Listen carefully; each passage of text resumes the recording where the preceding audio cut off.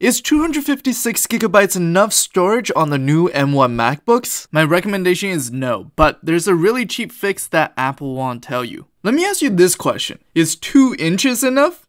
I mean, you always wish you had more, but you just gotta work with what you got. The same goes with these MacBook storage. The biggest usage of your storage is going to be your apps. So right now, I am using a total of 28.67 gigabytes. And let's take a look at the apps that I have, right? So at the top here, it's all Adobe. Adobe and the editing softwares like Final Cut and Photoshop, these are going to take a lot of space because they're big programs.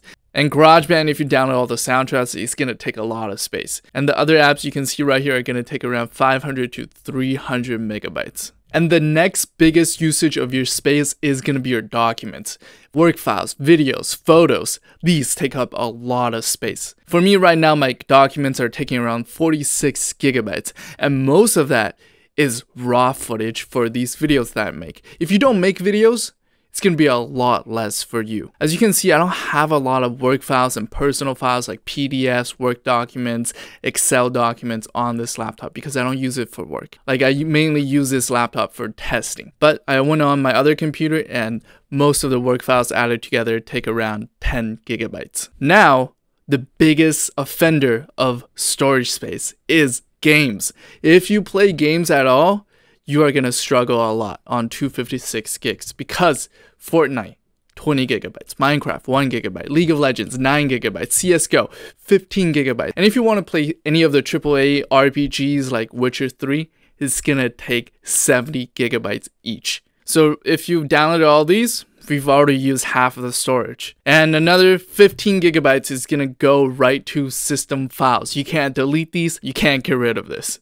If you want to install Windows 10, it's going to take you another 15 gigabytes for that. So you're going to run Windows 10 via Parallels and that's taking around 14 to 15 gigabytes. Add up all the other files, another 20 gigabytes. So in total, we've used 168 gigabytes with just the normal stuff, right? I've only had this laptop for around two weeks and we've already used 168 gigabytes we only have 88 gigabytes free.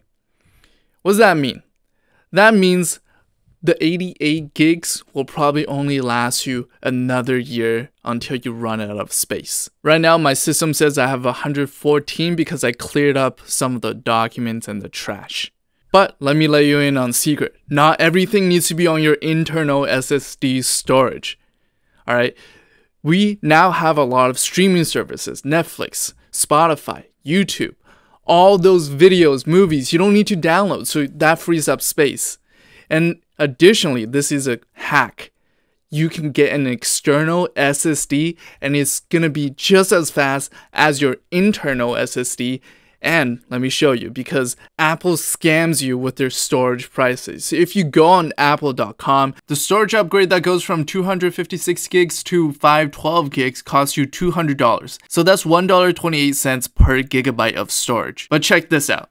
If you go on Amazon.com or linked in the description, you search up SanDisk Extreme Portable SSD, it's only gonna cost you 15 cents per gigabyte.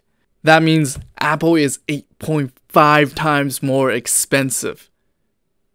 Apple is ripping you off with their storage. I like this SanDisk SSD over the Samsung T5 because it's dustproof, water resistant, and drop resistant, and it's smaller so it's easier to carry. I'll link it in the description if you want to get yours and not get scammed by Apple. I'm a content creator, so let's take a look at my video files, right? Look at these. This one's 30 gigs, this one's 56 gigabytes, and uh, this one, let's see, it's 17, and let's see this one.